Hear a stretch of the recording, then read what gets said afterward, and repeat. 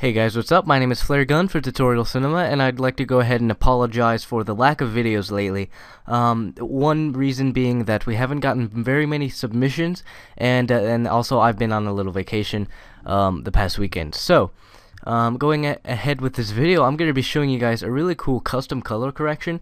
Now, you can't get really specific with this color correction, but it's a really nice way to get a specific color um, on your video clip very easily um, using something called an envelope on a video track.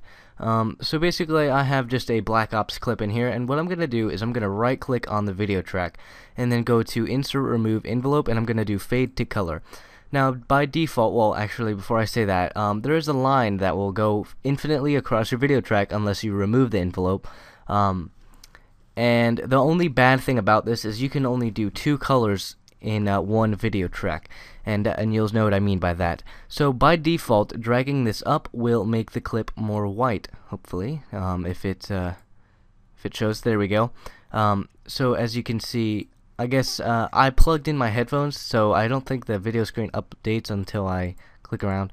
But uh, besides that um, bringing it down will um, up will is by default brings it to black color um, so basically you can just right click this line and do reset all to um, configure that back to normal.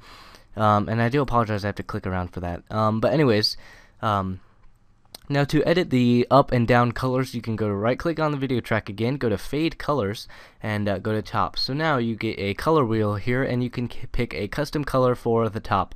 Now I'm gonna go ahead and make a, a suggestion like a warmish um, blue right about in this color right here um, looks really really good so actually I'm gonna go ahead and edit the bottom color as well um, let's do bottom let's make it bright pink. Oh yeah. Okay so I'm gonna go ahead and drag this up. Now normally it'll update the video screen um, automatically but mine's just being weird. Um, so I'm gonna do about 16% and I'm gonna move it and you can see that this has a lot more brighter blue color. I'm gonna do it a lot so you can notice the extreme difference here. Um, obviously oops you don't want to do that. Um, obviously you can tell that uh, you really don't want that much of an extreme effect or I mean you can if you want. Um, so I'm going to bring this back down. What I recommend is about 13 or 16%. It snaps to those. Um, that and that looks good. It brings like a nice little warm blue color. I'm going to go up to 16% and show you what that looks like. See, I, I, think it looks pretty good. So compare that to normal, which is about now. So it looks pretty good. And also with a envelope, which is really cool, you can actually double click on the line and it will create a little point. Now, if you drag after that point, it will you'll see that it like moves along that point and you can also reset the line like that. Um, and so if you put let's say a po four points like so you can make it fade down and then fade back up into whatever color you want. You can just reset the points as well.